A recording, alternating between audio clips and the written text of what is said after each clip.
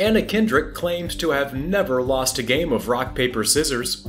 She made the bold statement while guest commentating on last Sunday's NFL on NBC alongside Mike Tirico and Chris Collinsworth. Of course, Mike Tirico challenged Kendrick and lost seven games in a row.